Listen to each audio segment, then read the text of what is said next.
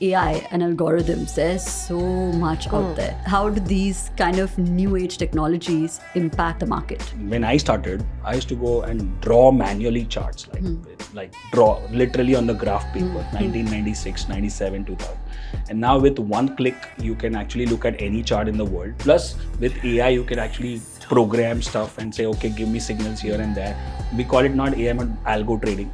So it becomes more automated and more convenient, so that even a common man can trade.